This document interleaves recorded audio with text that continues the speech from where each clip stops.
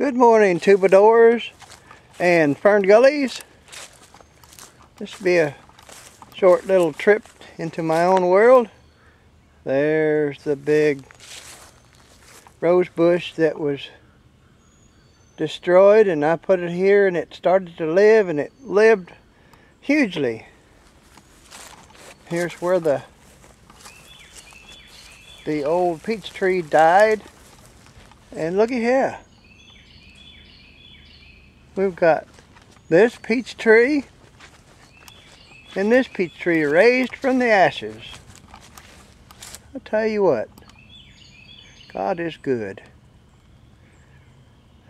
Now, if they only tasted like chocolate, I'd be happy. What we're going to do today, Childs and Chilines, is Mr. Peek has got a really neat BB gun, BB pistol. And uh, he was out there kiting around showing it. And uh, I accidentally have one a little newer, or a lot newer, I don't know. And uh, let me get this thing situated. And I was going to see about shooting it one more time before I send it to him. Because you need two of everything if you can. Now how does this, this makes it go that way. This makes it go that way. Yeah. Oh. Well, you got to be smarter than the thing you're trying to work. Oh, there it is. Yay!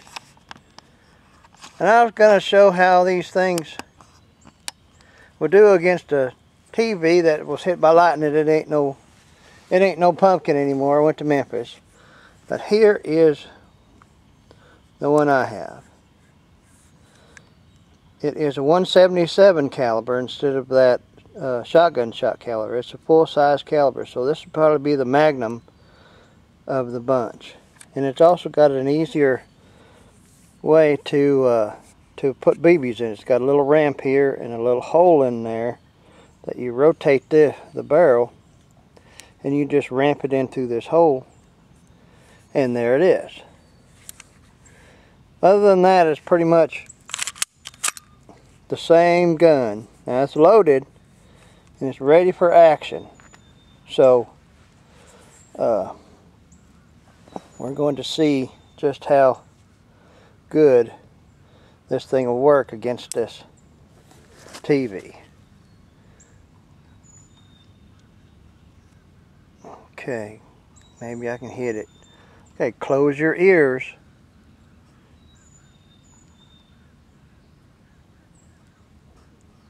I'm wiggling today, boy.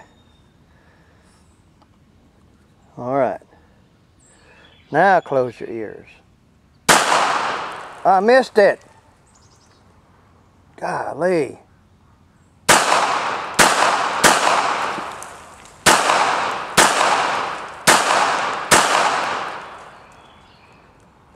I think that's it.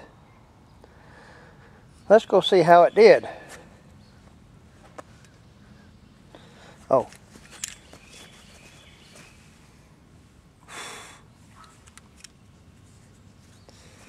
Right, I can already see some holes in it. Boy, I, it shoots off. It's going to have to have some, going to have to have some uh, how do you get this out of here? Huh? Huh? What? Huh? What? I don't know how you get this out of here. Oh, there's a lever. Clever. All right. I can see daylight through this stuff. It's little BB size holes, that's for sure.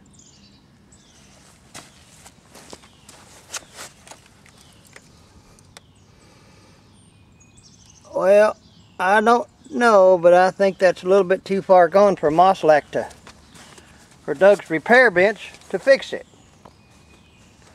But he does wonderful things, so I don't know. I hate to be like Elvis, but you know, Elvis he was a He was a, a rebel. Shot lots of TVs. Okay. Now we're to get the gritty nitty out of it. Now I can hear you say and watch you do. Okay, that's it for, for the cutworm thing. I'm going to wrap this up.